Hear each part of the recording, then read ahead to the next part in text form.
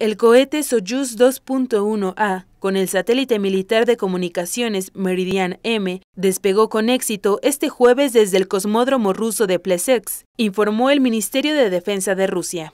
El cohete despegó la mañana de este jueves desde el cosmódromo de Plesetsk, en la provincia de Arhangelsk, en donde las fuerzas aeroespaciales realizaron un lanzamiento exitoso. El lanzamiento estaba programado a realizarse en un principio el 24 de enero, pero el despegue fue suspendido por un fallo detectado en la tercera etapa del cohete. Entre 2006 y 2014, Rusia lanzó siete satélites Meridian, modelo diseñado por la compañía Resetnev para el Ministerio de Defensa.